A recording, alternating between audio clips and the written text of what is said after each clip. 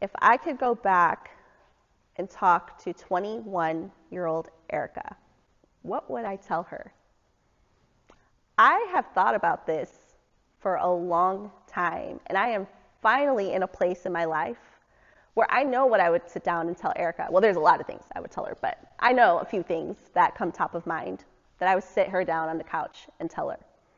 The first thing that I would tell her is every setback or what we feel is a setback is setting us up for that comeback. To lean in to what feels like failure and embrace that and learn from that because that is where the growth happens. What I would also tell her is to embrace lifelong learning. Stay curious. Constantly learn about yourself, about the world around you. Growth, being open. Learning is key to moving forward and making decisions for the life that you want to live.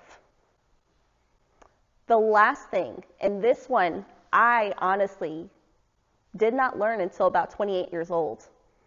But I would tell her, and I go back and tell 21 year old Erica, build relationships, meaningful relationships.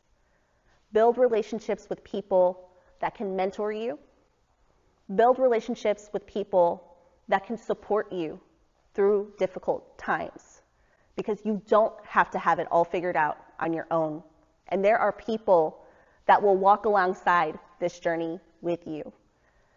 And those three things are key that I would talk to her and tell her and go back and say, Erica, I see you, but remember these three things. And this is going to guide your life and make your life so much more easier because you are going to be able to forge the path forward, understanding that these truths are going to help you get to where you're trying to go.